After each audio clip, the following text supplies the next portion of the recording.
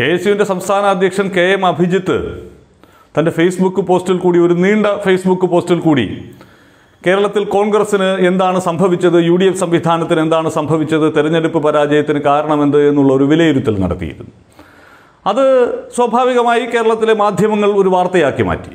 അത് വാർത്തയാക്കി മാറ്റിയപ്പോൾ അത് ദുർവ്യാഖ്യാനം ചെയ്തു എന്നാണ് അഭിജിത്ത് കണക്ക് കൂട്ടുന്നത്. അഭിജിത്ത് അതുകൊണ്ട് മറ്റൊരു പോസ്റ്റ് ഇട്ടു ഇടതുപക്ഷ മാധ്യമങ്ങളെ ഞാൻ പറഞ്ഞത് എന്താണ് എന്ന് മനസ്സിലാക്കിയിട്ട് വേണം നിങ്ങൾ റിപ്പോർട്ട് ചെയ്യാനെന്ന് ആ പോസ്റ്റ് വായിച്ച് നോക്കിക്കഴിഞ്ഞാൽ മനസ്സിലാകുന്ന കാര്യം കോൺഗ്രസ്സിന് പണിയെടുക്കാൻ അറിഞ്ഞുകൂടാ.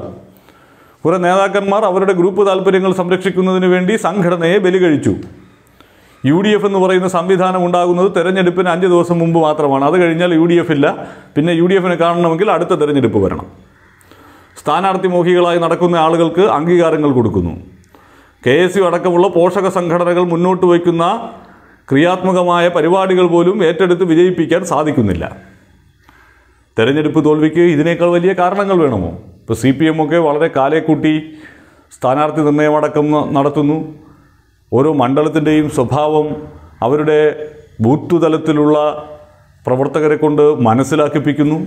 അതിന്റെയൊക്കെ അടിസ്ഥാനത്തിൽ കൃത്യമായ സ്ഥാനാർത്ഥികളെ അവതരിപ്പിക്കാൻ സാധിക്കുന്നു. പുതുമുഖങ്ങളെ അങ്ങനെ അവതരിപ്പിച്ചിട്ട് പോലും അവരെ പരാജയപ്പെടുത്താൻ സാധിക്കാത്ത സാഹചര്യമുണ്ടാകുന്നു.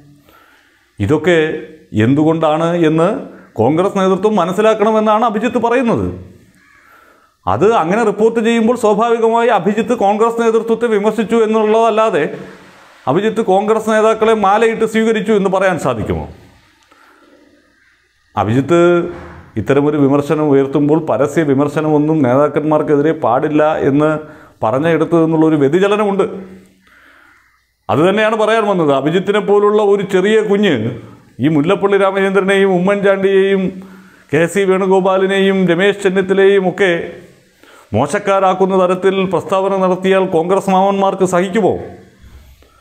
അഭിജിത്തിന്റെ ആ ഫേസ്ബുക്ക് പോസ്റ്റിന് കീഴേ വന്ന ആത്മാർത്ഥതയുള്ള കോൺഗ്രസ് പ്രവർത്തകരൊക്കെ അഭിജിത്തിന്റെ നിലപാടുകളോട് കൃത്യമായി ചേർന്ന് നിൽക്കുമ്പോഴും കോൺഗ്രസിന്റെ നേതൃത്വത്തിന് അത് അംഗീകരിക്കാൻ സാധിക്കില്ല. കാരണം ഇപ്പോഴും ഒരു നേതൃമാറ്റവും വേണ്ട അവരെയൊന്നും അവരുടെ ഒന്നും പ്രശ്നം കൊണ്ടല്ല തോറ്റത് എന്ന് വിശ്വസിക്കുന്നവരാണ് ഈ മാമന്മാർ. അപ്പോൾ അഭിജിത്തിനെ പോലുള്ള ഒരു കൊച്ചുകുട്ടി ഈ മാമന്മാരെ അങ്ങനെ അവരുടെ കഴിവുകേട് കൊണ്ടാണ് തോറ്റത് എന്ന അർത്ഥം വരുന്ന തരത്തിൽ ഒരു ഫേസ്ബുക്ക് പോസ്റ്റൊക്കെ ഇട്ടാൽ അത് അംഗീകരിക്കാൻ സാധിക്കില്ലല്ലോ. അതെങ്ങനെ അംഗീകരിക്കും?